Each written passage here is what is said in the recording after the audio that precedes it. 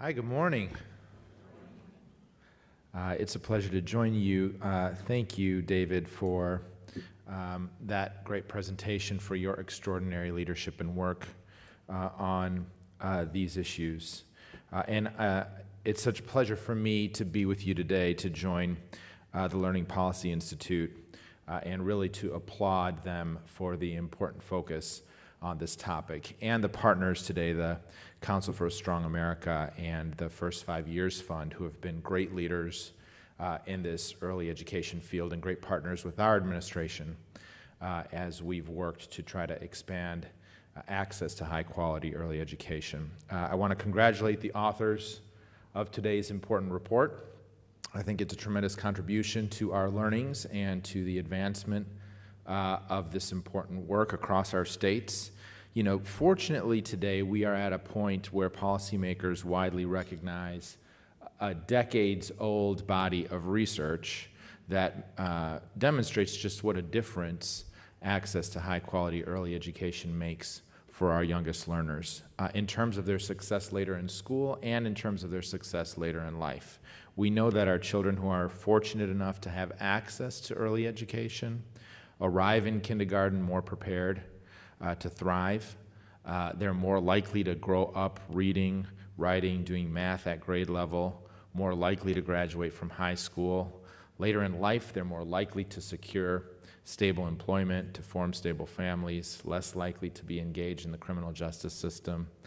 Uh, and we also have this tremendous set, set of learning from the neuroscience, which continues to uh, um, innovate and uh, update its learnings and for the field uh, to help us understand and relearn just how consequential the first five years are for children's development uh, and success and growth. Right? These are the years where our children are forming the foundation for health, for social emotional development, for cognitive skills that will shape their outcomes later. 700 new neural connections in every second of uh, a young child's life being formed in their brain, their brain being 80% uh, of its adult size by age three, 90% of its size by age five. So it's tremendous.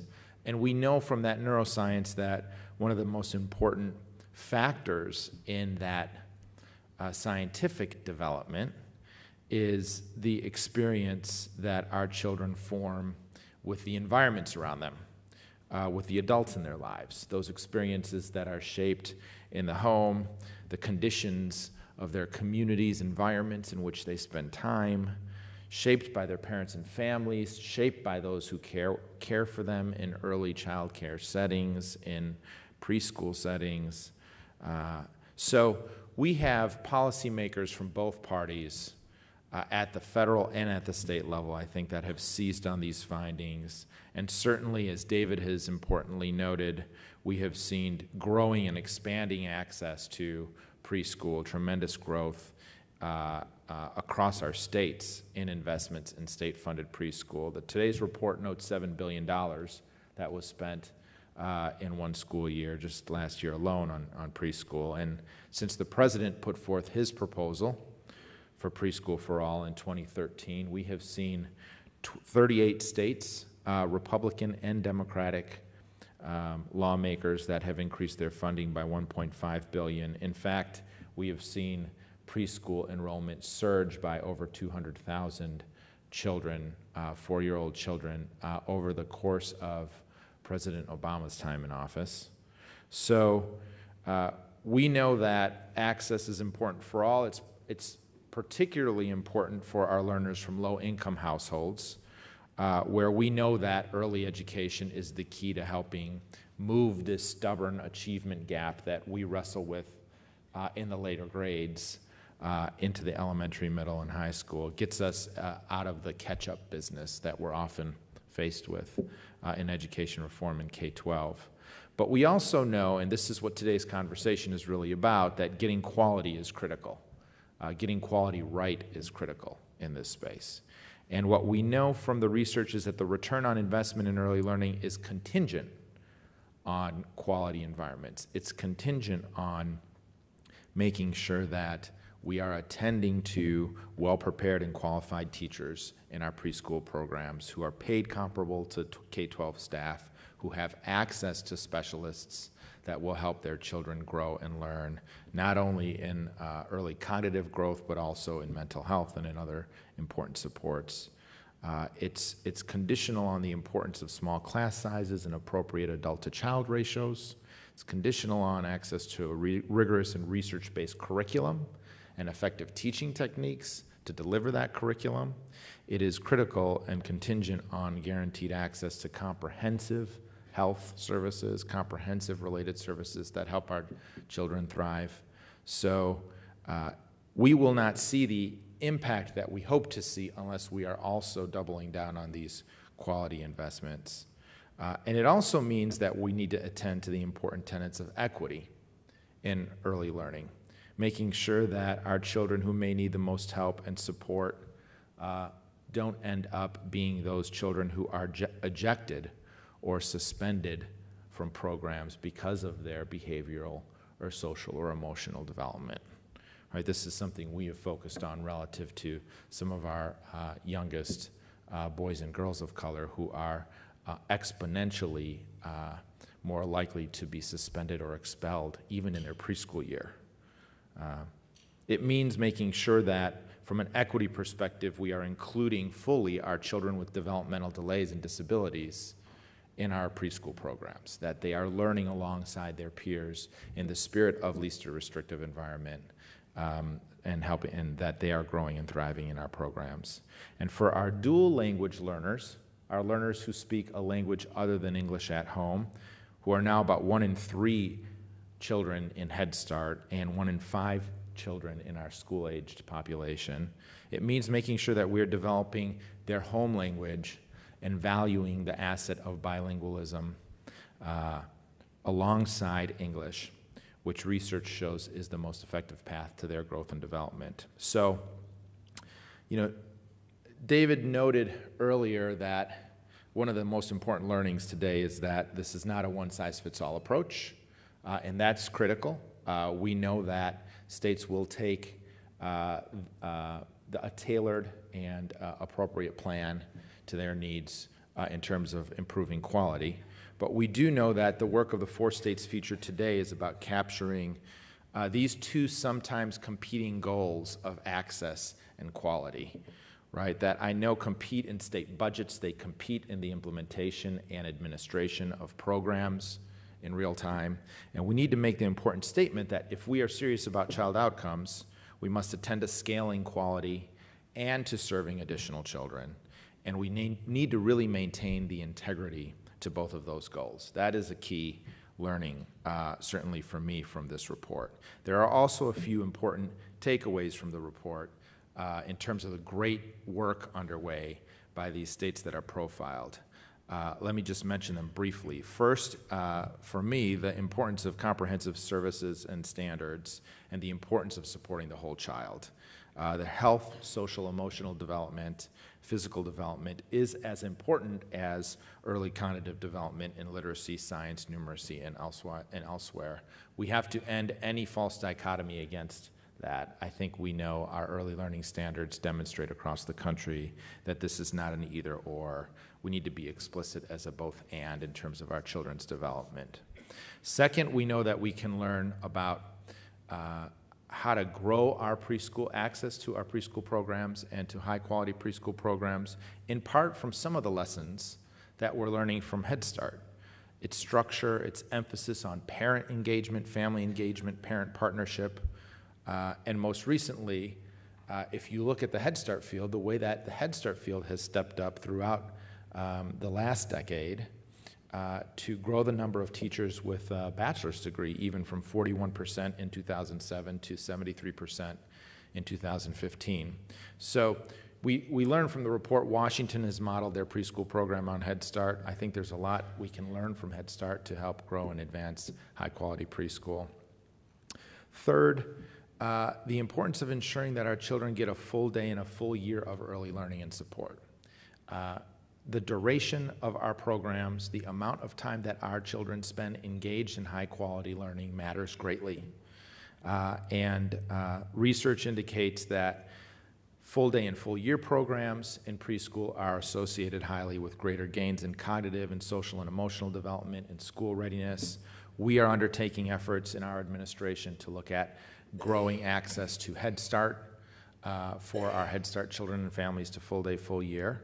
Uh, we know that we need to uh, maximize exposure to the benefits of high quality early learning if we are to glean what we need uh, for our children. And so um, we're encouraged by what we've seen. Places like North Carolina, where all of their children participate in a full day preschool program, places like West Virginia that have done great work in terms of 93% of their classrooms being full day, and even Michigan, where we have seen really wonderful growth over a short period of time, two, over two years, growing the share of kids that have access to full day from about a third to over 80%, which is really remarkable. Fourth, the importance of professional learning and growth and its importance to development of our early educators. So one of the ways uh, each of our states highlighted uh, their work to maintain and grow a high quality workforce in preschool is through coaching. Uh, and we're encouraged to, to, learn more about that innovation, hear more about that from today's states. We know that that works in some of our high performing districts that are implementing preschool, like Tulsa and Boston.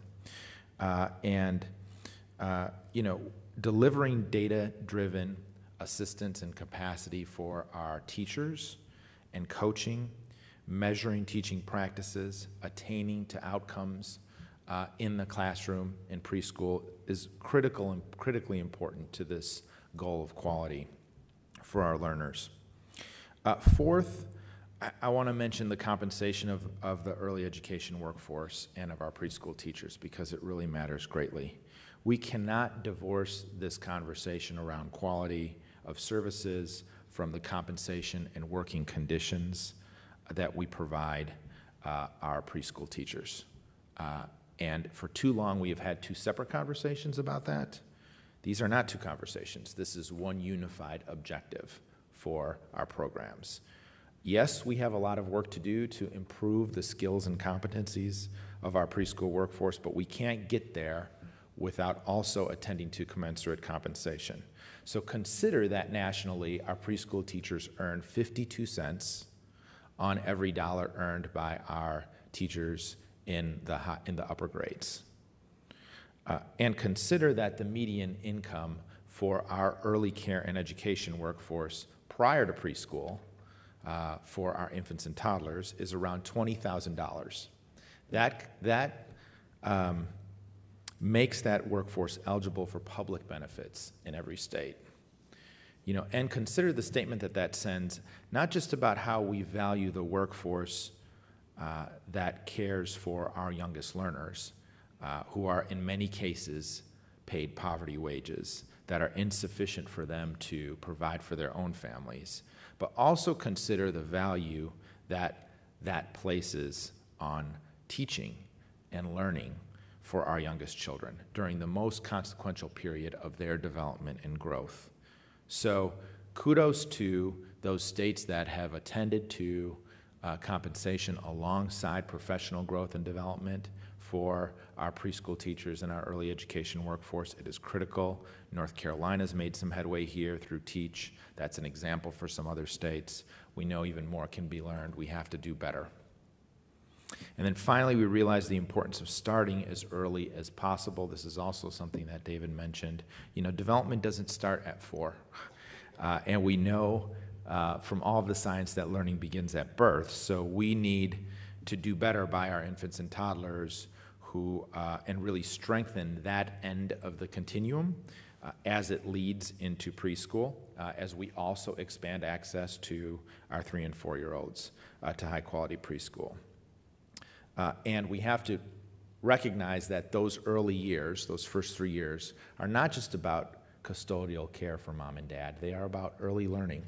They are about teaching and development and growth for our children. So, reports like this one that's, that are released today are important for us to stop and reflect on this important work around quality. I want to just, again, return to the, the, a bigger point as well, which is that um, at the end of the day, we will not make the progress that we need uh, as a nation uh, around access to high quality early education without greater investments.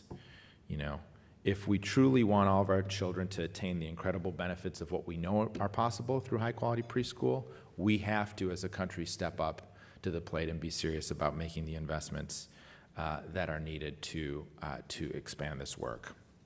You know, and we have to build our systems in the states. We're really encouraged by some of the work already underway there to uh, align and better coordinate services and supports. Uh, this is why our administration launched a Race to the Top Early Learning Challenge several years ago that has now over across 20 states invested a billion dollars and has translated into 400,000 low income children receiving access to higher rated and higher quality care in those states. We have to do better there. We have to expand access to uh, high quality early learning for all of our children. Uh, too often, still, a child's zip code is a predeterminant of his or her access to high quality preschool. Uh, you know, and we, we still remain 28 out of 38 developed nations internationally relative to access to high quality preschool for our youngest learners. Uh, that is unconscionable. We have to do better if we're going to be successful moving forward. So, this is the spirit by which the President announced his Preschool for All plan uh, a federal state partnership, uh, and it is a bold investment. It is $75 billion proposed over 10 years, uh, incidentally, which could all be fully funded with uh, a tax of a little less than $2 on every pack of cigarettes. Uh, but research tells us that uh, if we're going to be successful here, we have to be serious about making a federal investment in supporting and partnering with states in earnest as they expand access to high quality preschool uh, and as they attend to these important tenets around quality. Uh, we're pleased about the Strong Start for America's Children Act by Senator Murray and Representative Scott and Hanna in the House that has uh, uh, picked up the tenets of the President's plan uh, and proposed moving them forward. We're pleased with the tremendous support in Congress for the Preschool Development Grant Program, which is a down payment on that important Preschool for All plan and is now developing and expanding preschool capacity in 18 states for over 33,000 children around the country. We need to do more to continue that investment, particularly on the heels of the Every Student Succeeds Act. Uh, and we're particularly um, hopeful about the, in, the increased need for investments, uh, not only in preschool, but also for our, uh, our younger learners on the earlier side of that continuum. Uh, we know that uh, the quality of uh, teaching, learning, and care for the 11 million children that are currently in our child care system is not where it needs to be. And so, in order for our early education to produce the outcomes I mentioned, we also know that system has to produce high quality outcomes for children. And this is also why the President has advanced uh, a landmark child care proposal to make high quality, affordable child care available to all working families with children under the age of four.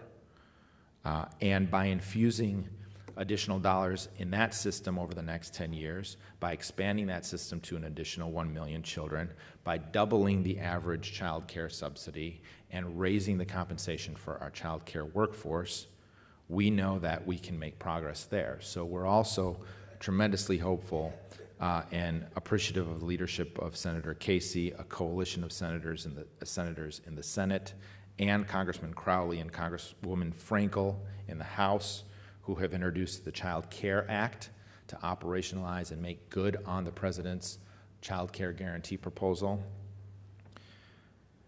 And these are big proposals. These are uh, um, big ideas for how we move our country forward in terms of early care and education, but they're such necessary investments uh, if we're going to be serious about improving opportunities and outcomes for all of our children.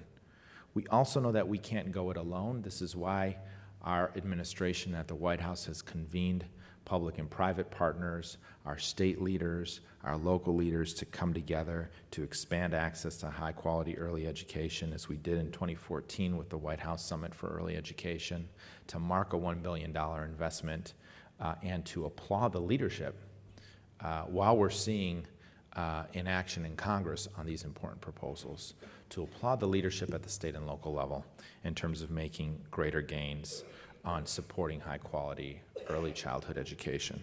So I'm hopeful that we'll continue to see headway in the coming years. Uh, and I'd like to just wrap up by saying we are not slowing down. You know, we have over 200 days left, and each and every day we are going to work to reverse this trend in our administration to make sure that we move from 27th back up uh, to the top in terms of uh, our developed nations and access to high quality early education. Uh, and we're going to work on that each and every day until the last day in office.